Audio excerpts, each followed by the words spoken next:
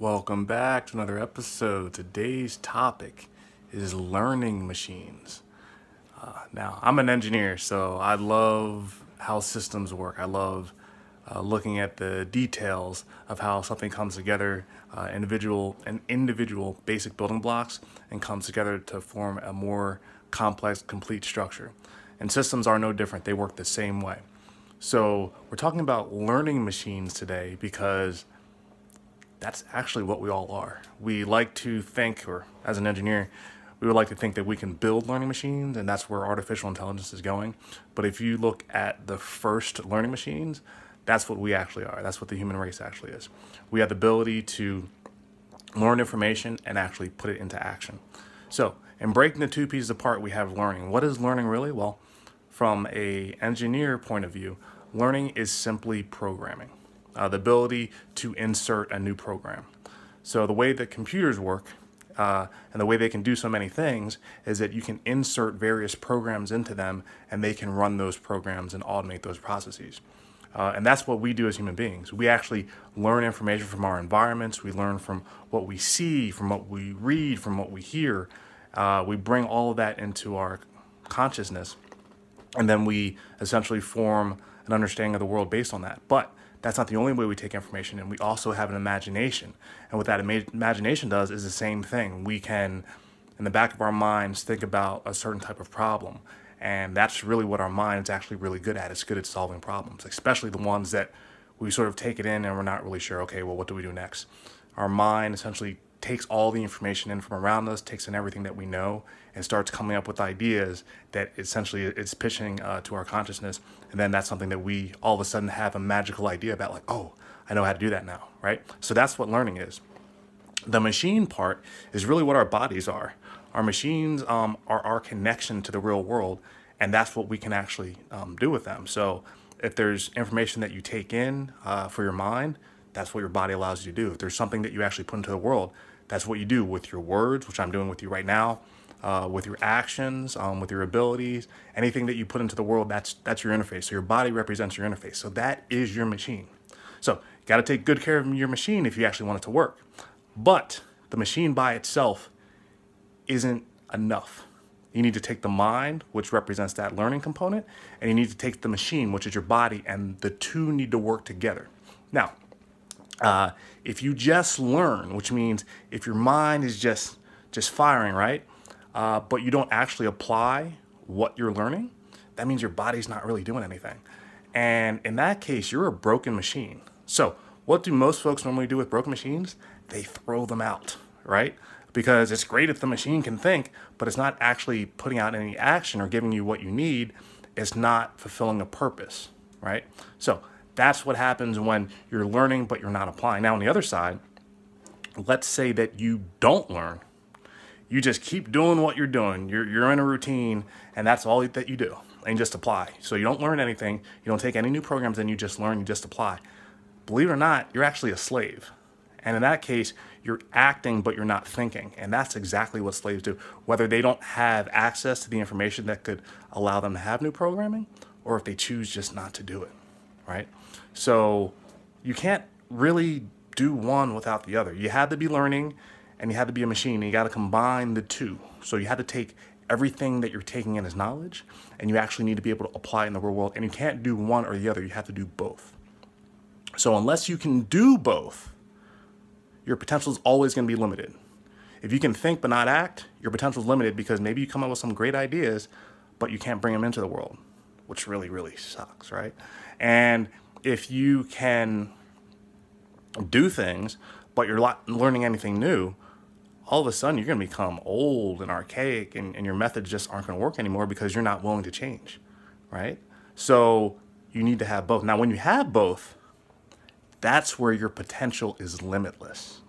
That's where there's no stopping you. Because if you have the ability to learn and put it into action, there's nothing that can stop you because you can adapt to any environment. That's why learning is so important. It allows you to actually adapt. And this world's constantly changing. So that's why learning's super, super important. So I wanted to share uh, my story with uh, escaping the monopoly. So you may have heard on a few other segments of me talking about the escape monopoly. This is a movement that I've actually put together based on my challenges in life, and I just equate them as a game, so it's easier to kind of explain of what happens in the Monopoly. So I've been traveling the Monopoly board all my life, but the Monopoly board changed when all of a sudden Go disappeared. And for me, if you've heard my other segments, that's when my whole idea of working for other people and the job disappeared. So as soon as that Go disappeared, what are you doing on the Monopoly board? It's like, how are you able to function if there's no Go? If you're not able to go, if you're not able to pass Go and collect $200 or get a salary, how does your world actually change?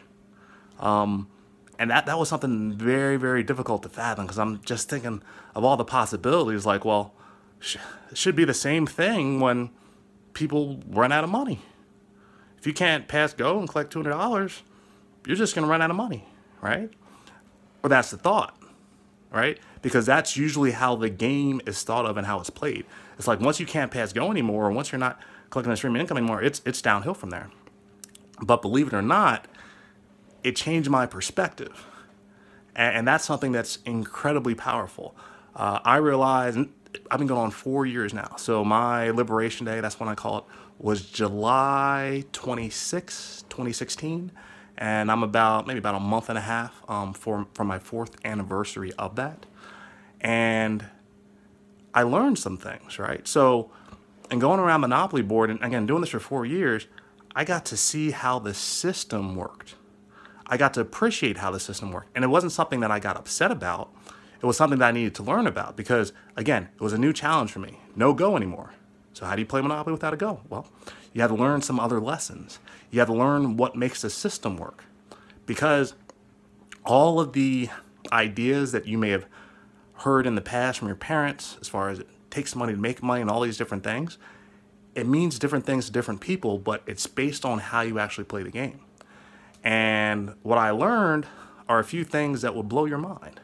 Uh, the first thing I learned is even though I thought money was my problem, it wasn't my solution, right? So money wasn't the answer. And when I wanted to escape the monopoly, money was not the answer. Now, most folks would think money would be the answer, but in my case, it wasn't. That was not going to be the answer. So thought that was kind of profound, right? You think about the whole point of Monopoly is to make money and to win the game, but that's not necessarily how the game's played. And it, it took me a little while to understand that. But as I kept getting past one challenge and another challenge and another challenge, I realized that financial intelligence was more important than money. And so that's what I kept working after. I had to learn about financial intelligence and I had to apply that. And once I did, then all of a sudden money became less of a factor. Like profound, right? Uh, the other thing was was knowledge. So if anyone knows me, um, I'm very detail oriented. I want to know how things work, and I'm willing to put the work in to figure that out. And as I started dealing with challenges, my first thought was, okay, well, if money's not the answer, maybe I don't know enough. Maybe there's more information I need to find out. And I became I became an education junkie, right? I kept learning and learning and learning, and there was so much out there. The more I learned, the more that I realized I didn't know. And I just, I didn't have enough time to apply it, right? So I'm taking all this information and I was like, didn't know that, didn't know that, didn't know that, didn't know that. And then I got stuck. And I have all, my, my, my closet's full of all these various training programs where I went, I tried to take something new, tried to sort of put that into place and figure out how that actually worked. And I was going overboard.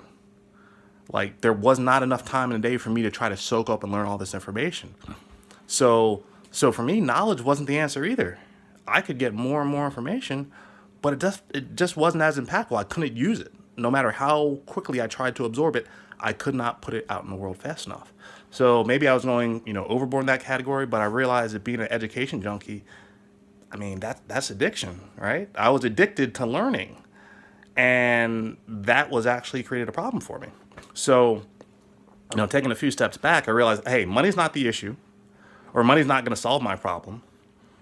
Knowledge isn't going to solve my problem either. All right, well, let me just make sure that I'm I'm keep doing everything that I possibly can. So I was super productive.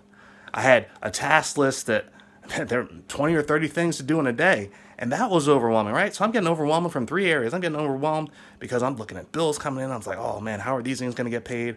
I'm looking at knowledge and I'm just like, oh, how am I going to get more information? And I'm looking at productivity and I'm just like, I got to keep doing and doing and doing and doing and doing, right? So like there are these these three angles and I'm just looking like, how is this possible? And overwhelmed just it hits you like a ton of bricks, right? And then I got clarity. So with all of that, I had a lot of confusion, but then I got clarity. And what the clarity actually showed me is that money, knowledge, and productivity were great, but they form a triangle around something bigger. And the something bigger was perspective. And once I started harnessing perspective, everything changed. The perspective was the piece that, it was a missing piece it was I was playing Monopoly, but I was playing by somebody else's rules. And I was telling, playing by the rules that they told me, or that I learned from my parents, or that I learned from my generation and experiences and everything growing up. But that's not actually how Monopoly actually really works. There, there's a lot more going on that you don't see. So once I changed my perspective and I stopped thinking about why am I doing what even the the, the gurus are telling me or what everyone out there is telling you, why don't I just look at the behavior of how folks actually act? Uh, what are they actually doing in this world and how is that changing? And then all of a sudden, I started getting clarity. I started getting clarity and understanding that I was not playing the same game that some of my teachers were playing, right? Some of my teachers were in the game of providing education, and I was in the game of learning as much as I possibly could but that wasn't the same game. It was a different game. So when they're, you know, making their their fortunes, they're doing it off of education.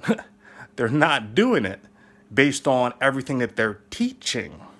So that was a huge perspective. I stopped looking at all the information that was given to me. I started looking at the behavior. And when I started looking at behavior, my perspective changed. And when my perspective changed, I found that I was learning more faster because it was all coming in just based on on seeing what was around me. I stopped tuning into the information. It's like I tuned to a different channel on the radio. Instead of, you know, tuning into, hey, you know, you have to, you know, go to work at this time, you have to be back at this time, that a button on the seat. I all passed all that and went to a different station and got to the whole idea of don't work for money, work to learn. And then like phew, that that was a powerful thing. And then like behavior tells more truth than what someone's words actually will. So don't look at what they're saying or listen to what they're saying. Look at what they're doing because that's going to tell you the full story right there. So, uh, being able for me to escape the monopoly was a change in perspective. And that's actually something that I learned so much about and I was able to, I almost feel, perform miracles as a result of it, that that's what I'm actually trying to teach you. So, uh, Hope you enjoyed today's topic on learning machines. If you want to find out a little bit more about the story, how everything is actually coming together, check out escapethemonopoly.com. Hope you enjoyed this segment and look forward to catching you on the next one. Bye.